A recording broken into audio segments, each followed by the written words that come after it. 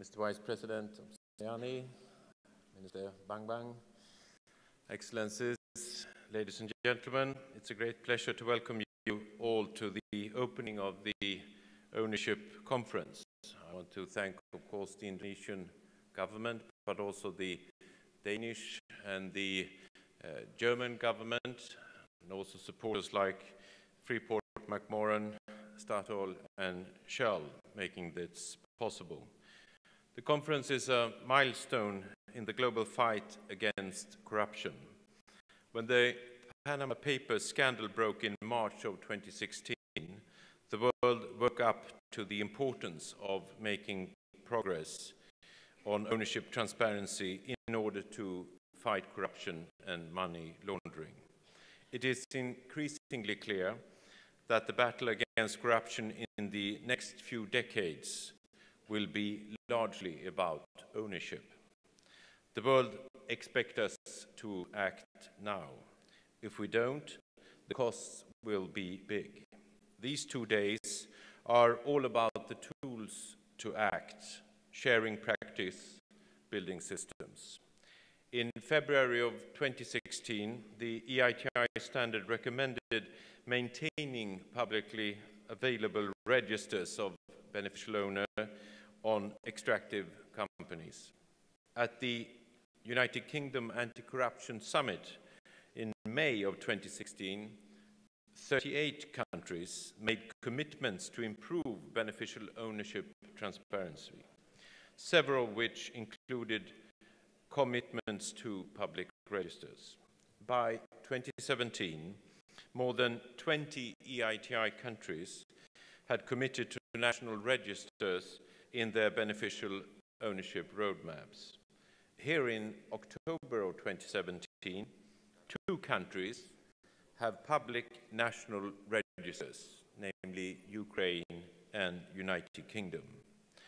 The progress report shows efforts made to embed beneficial ownership transparency in legislation, attempts at piloting beneficial ownership disclosure throughout EITI reports, collaborative efforts across ministries, outreach to stakeholders, and building of registers. We look forward to hearing about how the UK and the Ukraine built registers and what we can learn. We want to hear about what other countries have done to change legislation or make progress on definitions and data collections. I'm proud that the EITI's 52 membership countries, member countries have committed to ensure that the ownership of the oil, gas and mining companies that operate in their countries will be open for anyone to see. Adopting the EITI requirement in February of 2016 was the foundation stone for setting a global um, ownership transparency norm. EITI countries, extractive companies, and civil society came together to make it happen. The topic was so new that, of course, we had to organize the world's first conference on how to actually make it happen. And I'm therefore proud of the significant contribution that EITI is making to the global movement against anonymous companies. Despite the increased attention to beneficial ownership and the effort in the EITI, there is to date still relatively little beneficial ownership information out in the open.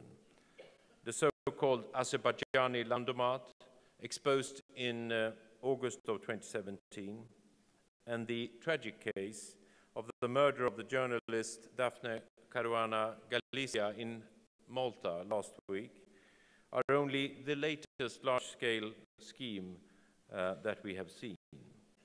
We will see more and more of this unless there is a steep change in beneficial ownership disclosure.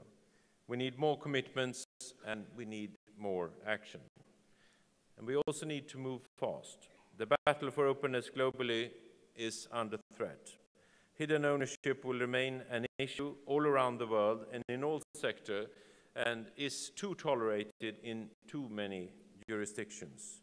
It has been widely documented how anonymous companies often helps to feed corruption, tax evasion, terrorist financing, and money laundering.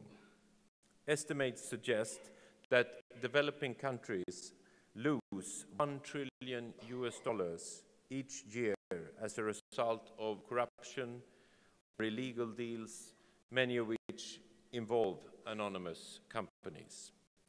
It's a particular challenge in the oil, gas and mining sectors for two reasons.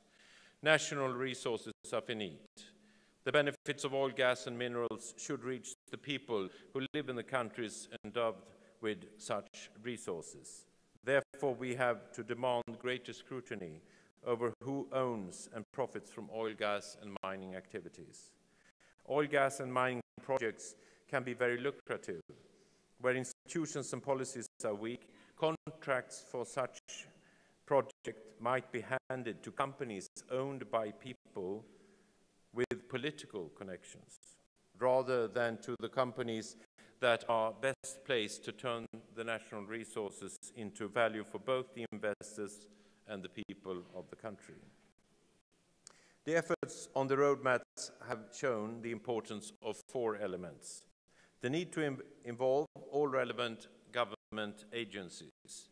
This is not something that the line Ministry of National EITI can do. It also covers company registers, cadastre, tax authorities, ministers of justice. Good, clear definitions of beneficial ownership and of politically exposed persons. Public information in an open data format through registers and other disclosure opens up the information not just for investigatory authorities but to the public. It makes it much more different to game the system once you know you are being investigated.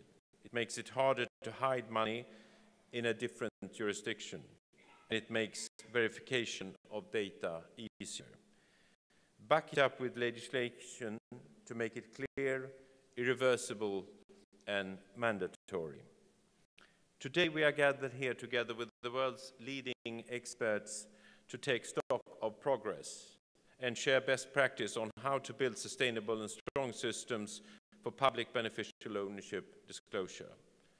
Here in Indonesia, we have witnessed a vibrant public debate about how ownership transparency could improve tax collection in the extractive sector and hold company owners to account.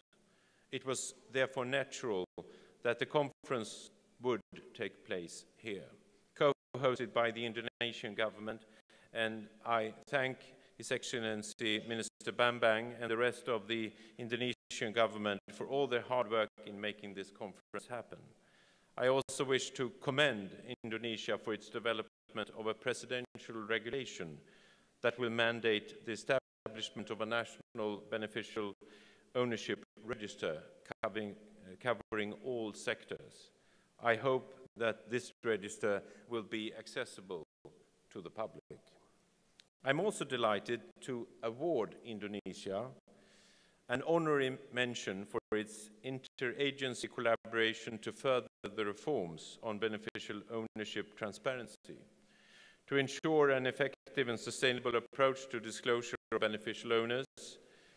Indonesia is introducing reforms across ministries through harmonization of regulations, information sharing mechanisms, and broad consultations among relevant ministers and stakeholders. I think we have an award. If, is this here? We have a special award that we will hand over to the minister.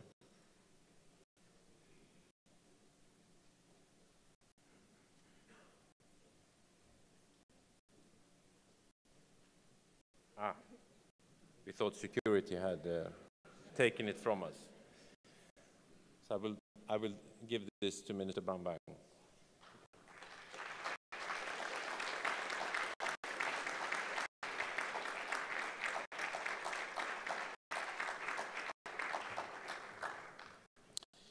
This conference is also an opportunity to establish, establish new partnership. I know that many of the participants to this conference might not be too familiar with the EITI, but possess considerable knowledge about beneficial ownership, working for ta tax authorities or financial regulators. It is timely to bring all of this experience together, and I thank you all for your willingness to travel here and to share your experience. No one action or tool is going to address all the challenges to anonymous operations and tax avoidance. New international norms are not established overnight, but this conference is a key milestone towards improved systems to tackle corruption and poor governance. I hope that all countries use the conference to renew commitments to beneficial ownership disclosure based on greater experience and also ambition. Thank you for listening.